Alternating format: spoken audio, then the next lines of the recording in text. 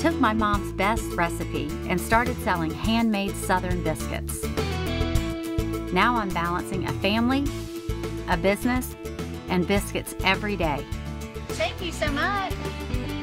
I'm Carrie Morey, and this is how I roll.